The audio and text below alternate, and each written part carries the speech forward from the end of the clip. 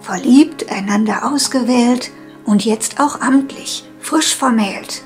Drum will ich herzlich gratulieren und ein paar Verse rezitieren.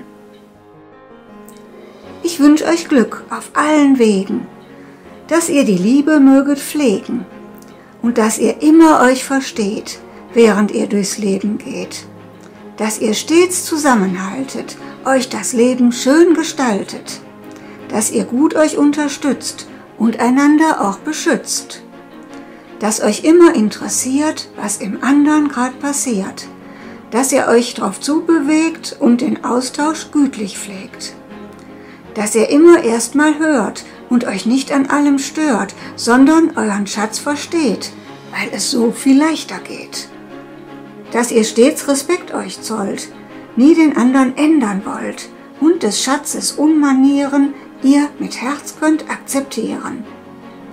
Dass ihr es schafft, die eigenen Schwächen stets bei Zeiten anzusprechen und für eure Reflexion mehr Verständnis kriegt als Lohn. Dass ihr euch auch Freiraum schenkt und dabei nichts Schlechtes denkt, sondern stets mit viel Vertrauen könnt auf euren Liebling bauen. Dass ihr eins seid und doch zwei bleibt, euch nicht ausbremst oder antreibt, sondern sorgsam und subtil fördert auch des anderen Ziel. Dass euch stets ein Band verbindet und die Liebe niemals schwindet, dass die Ehe immer hält und das Leben euch gefällt.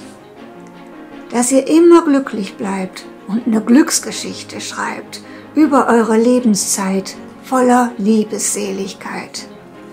All das wünsche ich euch von Herzen. Und auch, dass ihr es könnt verschmerzen, wenn es mal nicht ganz perfekt und sich mit dem Text nicht deckt. Dann seht's bitte möglichst heiter und geht trotzdem immer weiter.